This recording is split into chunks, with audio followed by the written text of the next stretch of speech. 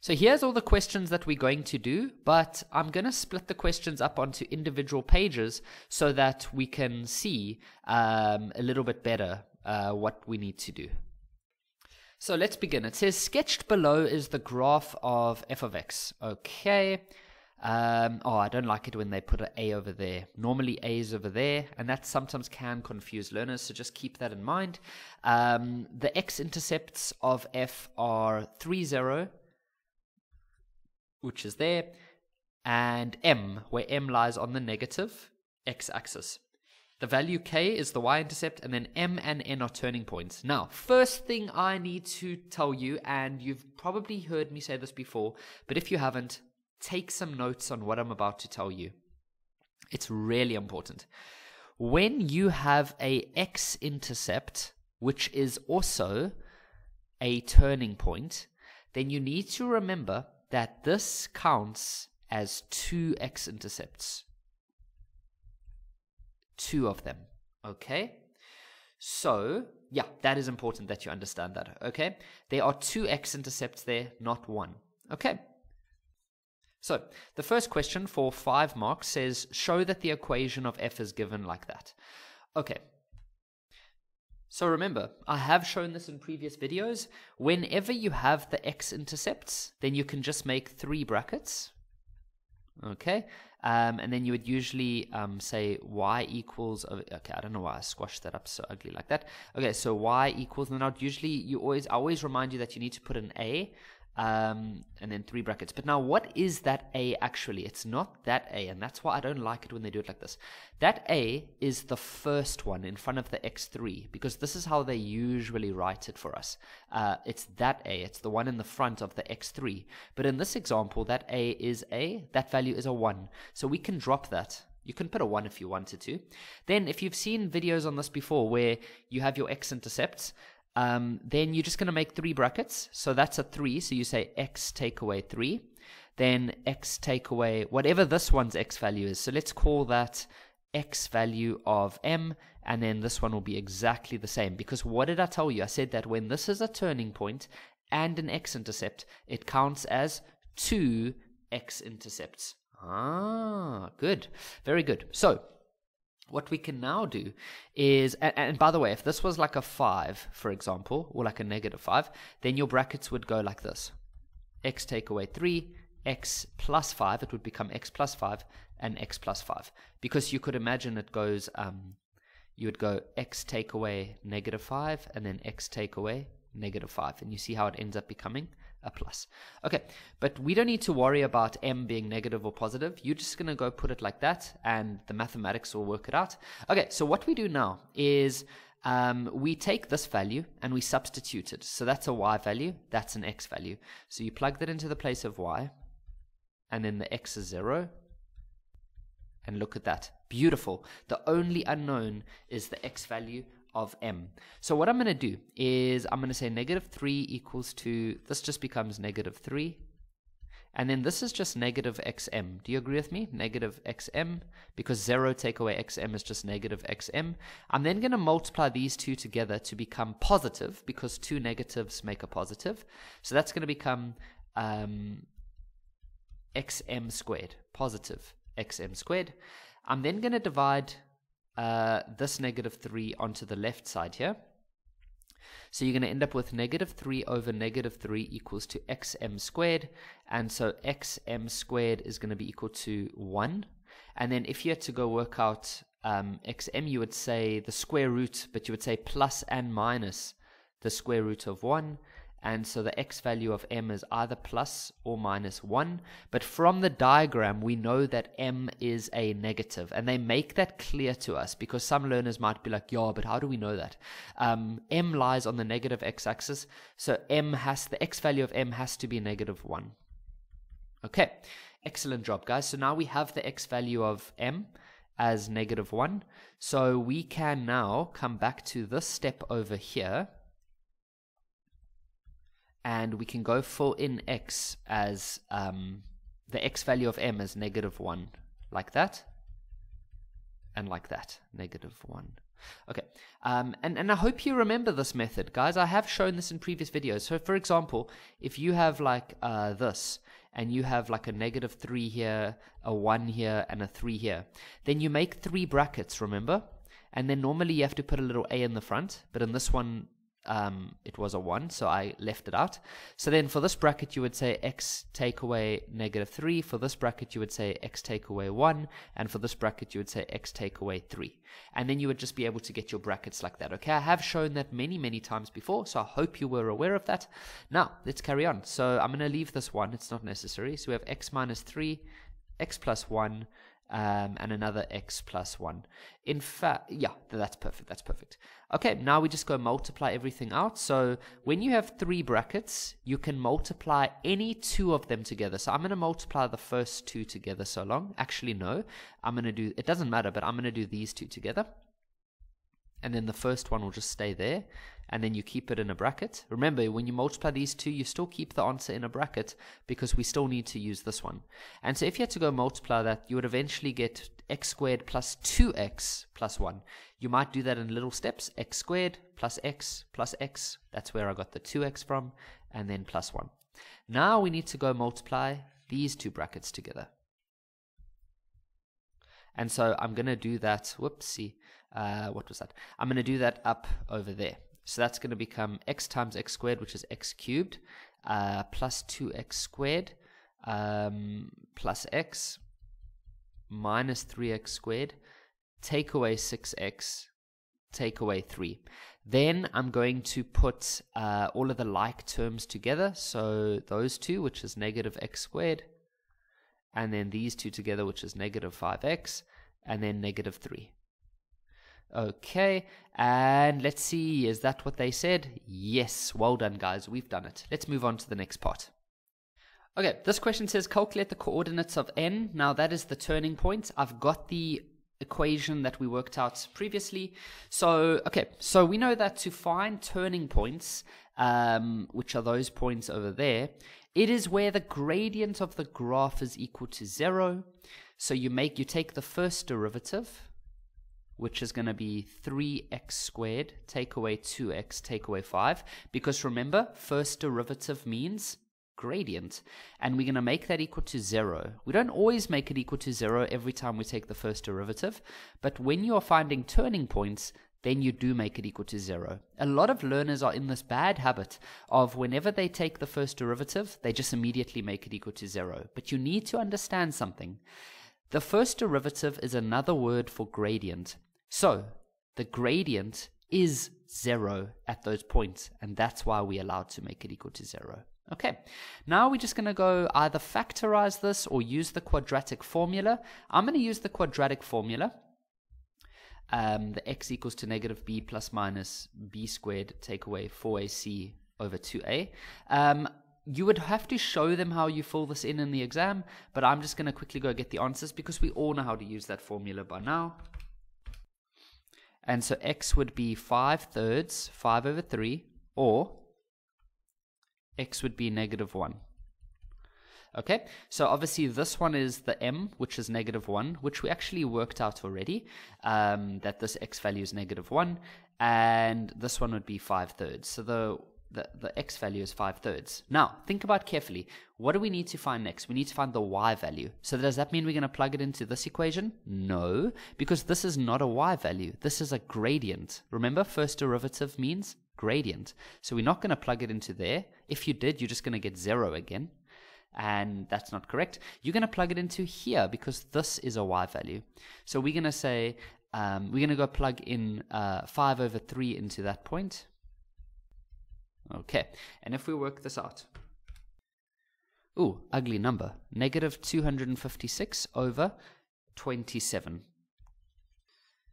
This next question says that for which values of x will f of x, which is this graph, for which values of x will it be smaller than 0? Now, we need to understand what that means, because I know a lot of you still struggle with that.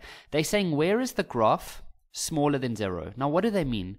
Do they mean where are the x values smaller than 0? Because that would be all of this. No, they mean where are the y values smaller than 0? So if I highlight the graph here, in this area here, tell me about the y values. Are they negative or positive? Well, there the y values are negative, um, all the way up to there. All of that, the y values are negative, right? Of course, not that point over there because there the y value is 0. And then as soon as we go past that point, then look at that, the y values all become positive. So where are the y values negative? Well, it would be all of this up to there, and then go just skip past that point, and then up to there, but don't include that point because at that point and at that point the y values are zero, but they want to know where are they?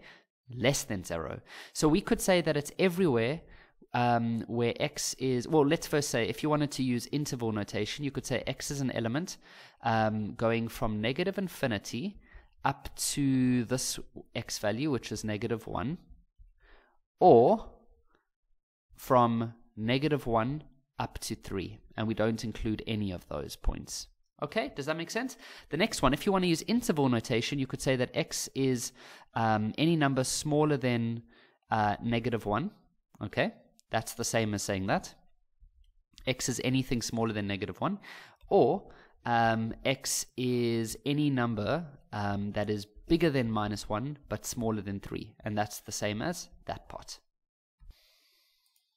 You even allowed to say that x can be any number that is smaller than 3, but just don't let x equal to um, negative 1. You could even say that if you wanted to. Okay. This question says, for which value of x is the graph increasing? Now, increasing is when the graph is going up, when you're moving from left to right. So it would be all of this up to there, and then it would be all of this you see, that's increasing. The gradient is positive. You see how the gradient is positive? Okay, if you look at this area, oh, it's going down. You see how it's going down, so that is not increasing. Now, it's only for two marks, so we definitely don't need to go use calculus and all of that fancy stuff we can literally just say that it's this area here, so that's everywhere where x is smaller than negative 1, because this is negative 1. And we're not going to include the negative 1. Some learners still get confused with this. At negative 1, is the graph increasing, decreasing, or is it flat? Well, most of you are going to tell me it's flat. So that's why we don't include negative 1, because they're not asking us where it's flat. They want to know where is it increasing. So we'll go all the way up to negative 1, but we won't include negative 1. Then the next part would be from x is larger than, ah, now remember we worked this x value out earlier, and we worked it out as 5 over 3. So x is bigger than 5 over 3. Okay. Um, if you want to use interval notation, you could say that x is an element going from um, negative infinity up to negative 1, or x is any number um, from 5 over 3 up to infinity. And once again, we're not including the 5 over 3 because at the 5 over 3 it is not increasing, it is flat. This question says, where will the graph be concave up? So remember, let's talk about concave. Um, when a graph looks like that, does it look sad or does it look happy? Well, maybe if I put the eyes, that's a sad face. So this person is feeling very down. So we call this concave down. What about this person? Oh, this person's really happy, smiling. So we call this this person's feeling up. You know, like um, the energy's up. So we say concave up. So if you look at this graph, where is it sad? Where is it happy? Well, we know that somewhere over here, where it's called the inflection point, that's where it changes from sad to happy or happy to sad. So here it's sad. Look at that. See the sad face? And then here it's happy. See the smiley face? So they want to know where's it happy? Well, it's definitely from here, but the problem is we don't know what here is. We don't know what the inflection point is. It's not K. So how do we find inflection point? Well, you should know this by now. To find the inflection point, you take the um, first derivative, I mean the second derivative, sorry, and you make it equal to zero. So we're going to find the first derivative, because you can't get to the second derivative without the first derivative. Wise words, Kevin. Wise words. I know, guys. I know. So the second derivative is 6x take away 2. Make it equal to 0. Solve for x. divide by 6, and you end up with 2 over 6, which is the same as 1 over 3. So the x value here is 1 over 3. Um, concave up, well, it'll be anything to the right of that. So you could say x is bigger than a third. If you prefer interval notation, you could say x is bigger than a third, and that would go up to infinity. Now, if you did not have the graph in front of you, then how would you be able to do this? Well, what you would do is you would say that the second derivative is positive or happy. Remember, when you have concave up, your second derivative is a positive number. So it's bigger than zero. And when you have concave down, your graph is sad, negative, and so you would say that it is smaller than zero, which is negative. So if you did not have a graph that you could look at, you could just say that you want the second derivative to be bigger than zero. You would then say 6x minus 2 bigger than 0, you would then say 6x is bigger than 2, divide both sides by 6, and you would end up with x is bigger than a third, which is exactly what we got over there. This question says determine the maximum, okay, that's an interesting word, okay, maximum vertical distance between the graph of f and the graph of the first derivative over the following interval. Right, so You've maybe watched some of my videos on this before, but how do you how do you find the vertical distance between any two graphs? Typically, like in grade 11, um, they would give you a parabola and they would give you a straight line and they would somehow ask you to find the maximum distance between the two. Now, well, what I would normally do in those types of questions is I would always say you need to have the equation of the of the top the top one, you see the one, the graph that's on top, and then you need to have the equation of the graph that's at the bottom, and then you would say the top minus the bottom. Have you ever seen something like that of mine before? Well, we're going to use the same technique here. The only problem I see, though, um, is we have the graph of f, but we don't have the first derivative. But it's not a problem. We can quickly go find something here. So if we go take the first derivative, that's going to give us uh, 3x squared, take away 2x, take away 5. This is a parabola, okay? Is it happy or is it sad? What do I mean by that? Is it happy like this or is it sad? Well, it's happy, okay? Because this number in the front, the x squared term, is a positive number. Now they've only asked us to look between negative 1 and 0. So what I'm going to do is I'm going to plug minus 1 into this equation because I'm just trying to get an idea of what the graph looks like, okay? So we're going to plug minus 1 into this equation. So that's going to look like this. And if you had to go work that out, you would actually end up with 0. So that means that when x is minus 1, the y value is 0. So that is exactly the same as this graph of m. I mean this point m. It's exactly the same. Then I'm going to go plug in the other point um, into this equation. So I'm going to plug in 0 now. And you end up with negative 5. So that so when the x value is 0, the y value is negative 5. So if we go fill that in, it's over here. Okay, now we know it's a happy graph. So we know the shape is probably going to do something like that. Okay, so the point that I'm trying to show though is that if you look between the interval that they are talking about, which is here, who's on top? Is it the cubic or is it the parabola? Well, it's the cubic. We can see that the um, the cubic is the one that is higher up. For example, if you chose this x value, if you look vertically, who's higher up? It's the cubic. If you chose this point, if you look vertically, who's higher up? It's the cubic. So that means we're going to say top minus bottom. So it's the cubic equation.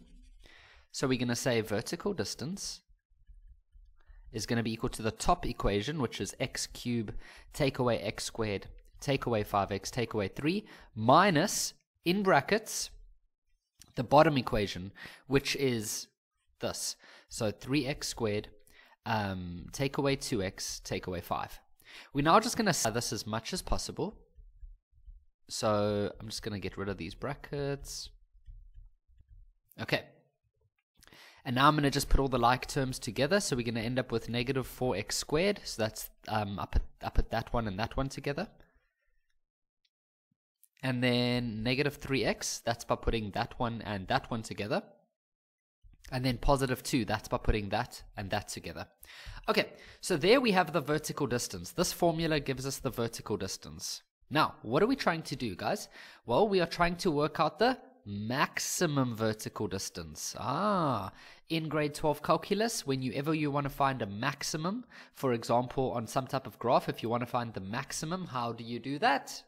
You take the first derivative and you make it equal to zero. So we're going to take the first derivative of this equation. So we could say um, we could say that we're going to take the derivative of the vertical distance. You could have called that distance or whatever.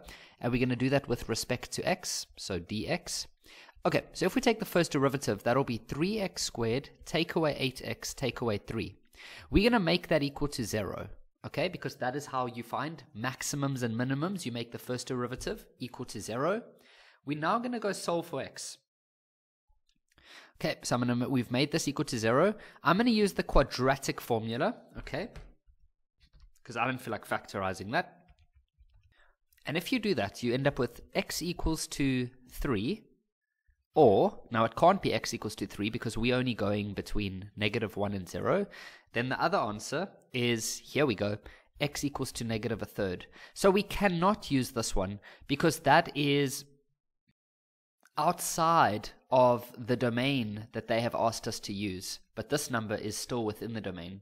Now, that's not the answer. That just says the x value. So that just tells you where about the, the maximum is. So they're saying that x is negative a third, which is probably there. So they're saying that that is where the maximum is.